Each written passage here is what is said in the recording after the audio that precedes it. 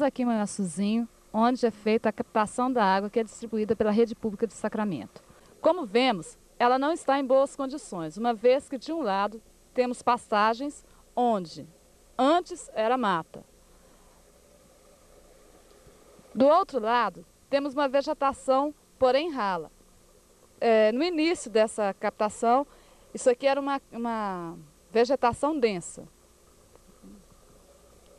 Na nascente, existe também lavouras de café, onde são utilizados agrotóxicos e com as chuvas esses detritos vão para a água que depois será servida para a população de Sacramento.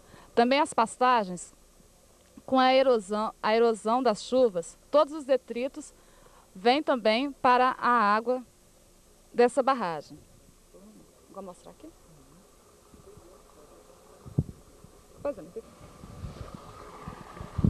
Como vemos, no fundo dessa barragem existe muita lama, que é o resultado dessa erosão e de tudo que vem para o fundo dessa barragem.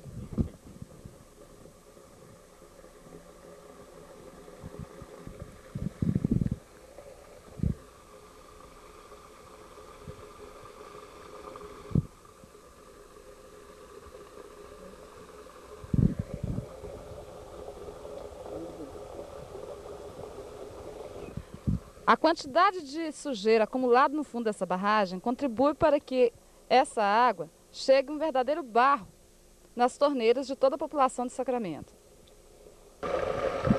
Como podemos constatar, o problema da água de Sacramento não é a falta de água, pois em pleno mês de agosto, essas, essa é a sobra da água que vai para Sacramento, sendo esta maior do que a quantidade de água que vai para ser distribuída para 200 casas em Sacramento.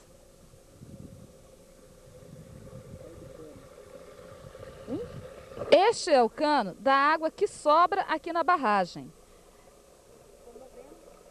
Enquanto este outro pequeno caninho aí é o cano que vai a água para ser distribuída em mais de 200 famílias em Sacramento.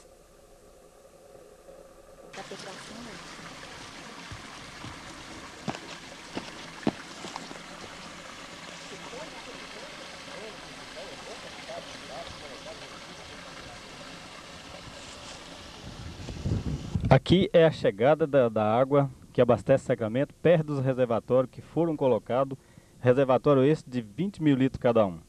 Este cano de 50 milímetros não é o suficiente para que a água possa encher os reservatórios. Nós vamos mostrar aqui os reservatórios vazios. É, como todos podem ver, o reservatório é de 20 mil litros e a gente pode perceber que todos dois estão nessa condição.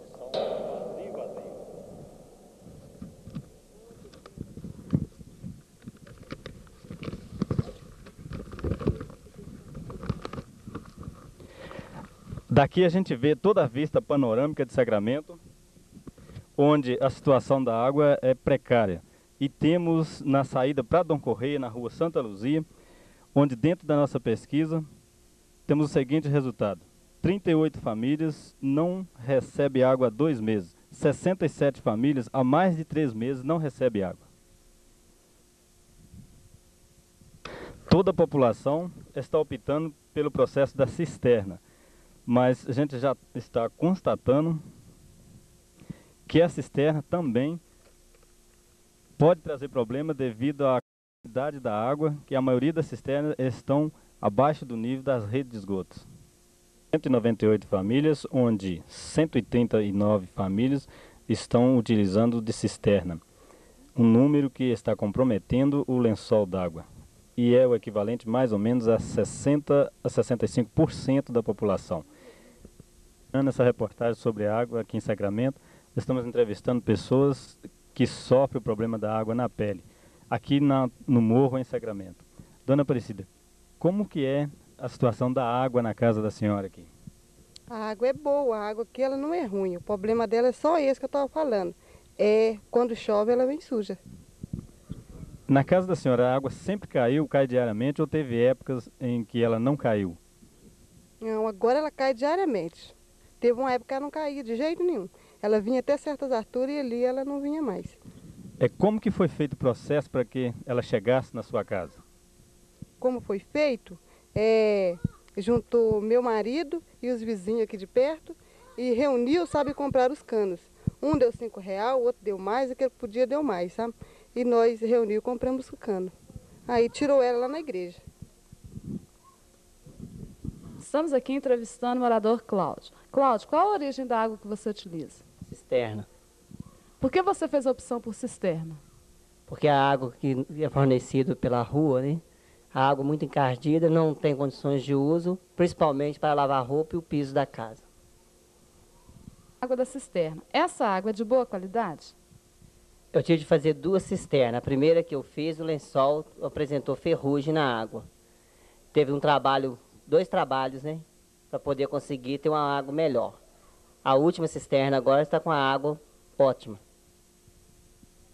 Entrevistando Dona Nedina, que mora na rua São Sebastião. Dona Nedina, qual a origem da água que a senhora utiliza? Tirija é, é da água da rua, mas não está tendo. Eu tô, agora estou do vizinho. Já tentei de todo jeito, não tem água de jeito nenhum. A senhora já tentou fazer cisterna? Já. Preciso tirar ela e pôr na, na casa do vizinho. A cisterna não deu certo, não? não? Por quê? Está toda ferrugenta a água. Eu tentei dar da rua, não cai de jeito nenhum. Passei mal mal, porque a água no vizinho aí teve um dia inteiro para encher caixa. Quantos dias costuma ficar sem cair a água da rua? Fica semana, fica, eu estou com uns quatro meses, quase que não está caindo de jeito nenhum. Tem água, não. O que a senhora acha da qualidade da água da rua? A água da rua, ela, ela vindo para a gente é coisa muito boa, porque eu ficar com a água do vizinho não dá certo, não é mesmo? O que, que adianta? Eu digo que cortar ela, como é que eu faço? Está muito difícil para mim. Que a minha não tem jeito, não. A água é ferrugem puro. Na rua Silvério Afonso, entrevistando a moradora Maria. Maria, você tem recebido a água da rede pública? Tem 15 dias que eu não tenho água. Estou buscando água, quando a Lili tem casa, busca na casa dela, né? Estar para a roça, estou passando é falta d'água mesmo. Banheiro tem, tem 15 a 20 dias que não tem água de jeito nenhum. Portanto, pus a água baixo aqui e nem embaixo tem água. E, ó, tirei até, tirei até, a, a, tirei até a, a torneira dele porque não tem nela ali passando tanto tempo sem a água cair na sua casa, como que você faz? Estou ficando sem lavar roupa. Ontem peguei o, quando, um, uma lá 18 litros de água, um bar de preto d'água. Eu lavei as pecinhas de roupa, um varal de roupa, moei e pus no varal para tirar o chucho grosso. Quando foi à tarde, tinha um bar de preto d'água e um tambor d'água para o pessoal tomar banho à noite. Peguei, quando foi à noite não caiu água. Até hoje sem cair água, até agora sem cair nada d'água. Você já tentou fazer cisterna? Eu tentei fazer, mas dá pedra. Dá mesmo. Não tem condições? Não tem condição não. Vamos arriscar mais uma vez, ver se consegue lá embaixo, mas pode ser. Agora com a moradora Gilda, que mora na rua São Sebastião e que faz parte de uma comissão que reivindica junto ao Poder Executivo a resolução do problema da água. Gilda, o que você acha da qualidade da água que é distribuída pela rede pública? Eu acho a qualidade da água ruim visto que nós estivemos agora lá na, na, represa e comprovamos que há detritos na água, sujeira na água, e chega na torneira das nossas casas, nas caixas d'água, com essa sujeira. Qual é a origem da água que você usa? Olha, eu uso água de cisterna. Apesar de que também não, não é uma água de boa qualidade, porque ela tem uma porcentagem de ferrugem também. Mas como era a única solução que tivemos, foi optar pela cisterna.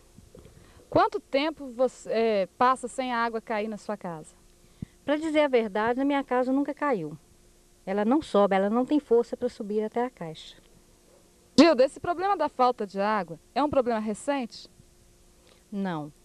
É, já faz alguns anos, né? Acho que talvez desde 92, 93, que, aliás, acho que 92, é uma comissão também é, organizada pela Associação de Mulheres já visitou esse local lá da, da, da captação da água, já solicitaram o prefeito, né? Inclusive nós tivemos a presença que na época o prefeito em gestão era o Eduardo, era o Antônio Teodoro, veio em seu lugar o vice-prefeito Fernando, o doutor Fernando, e nós passamos para ele o relatório de como era feita a captação da água, a distribuição, e eles prometeram fazer alguma coisa, porém até hoje continua o problema. Então a gente espera que através dessa, dessa no, desse novo avanço, desse novo avanço né, da, da população, que a gente consiga alguma coisa para evitar tantos sofrimentos que está tendo aí por tantas famílias, né? Que às vezes nem cisterna tem condição de ter. Além da cisterna também são comprometedoras, porque estão próximas à rede de esgoto e compromete também o lençol de água, que são, pelo que a gente sabe, são várias cisternas já feitas aqui na, no Distrito de Sacramento. Teremos a palavra do presidente do Conselho Comunitário, Júlio Maria da Silva. Eu acho que é válido a gente lembrar que a origem dessa água em Sacramento, ela se deu no, no mandato do Fernando Lopes, quando foi mobilizada a comunidade e toda a comunidade de Sacramento subiu até o, a captação da água, ajudaram a fazer valas para poder ter esse encanamento e, no entanto, hoje a comunidade está aí é, reclamando a falta d'água, apesar de ter feito um trabalho imenso ajudando a prefeitura e não tem o abastecimento de água em casa. É, através de tanta dificuldade que tivemos agora no momento mais recente, é, houve uma reunião do Conselho Comunitário, mobilizado também com algumas pessoas da comunidade, onde foi feito o apelo em que deveriam tomar algumas providências. Então, nós reunimos decidindo fazer uma pesquisa de casa em casa e também fazer é, essa filmagem lá na, no reservatório para mostrar a situação, como que é lá, pegar depoimento de pessoas que sofrem com essa água, para a gente mostrar para o executivo em uma reunião aqui em Sagramento e nós esperamos poder contar com a contribuição dele em solucionar esse problema nosso aqui em Sagramento.